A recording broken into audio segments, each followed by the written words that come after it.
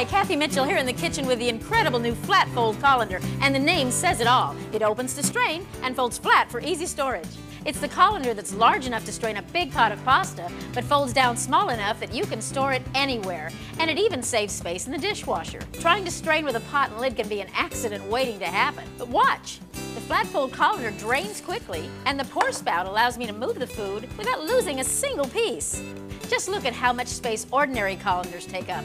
You can fit flat fold colanders into the same space. Other colanders sit low in the sink, so the water actually backs up inside but the flat fold colander stands tall. So whether you're washing, rinsing, straining, or draining, the water stays away from the food. The flat fold colander is large and strong enough to hold five pounds of potatoes.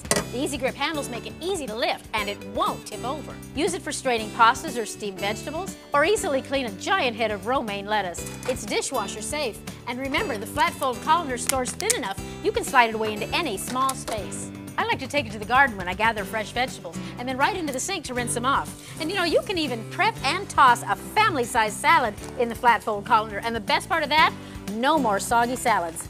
And when you're done, just snap it closed and tuck it away, out of the way. Pick up your flat fold colander today.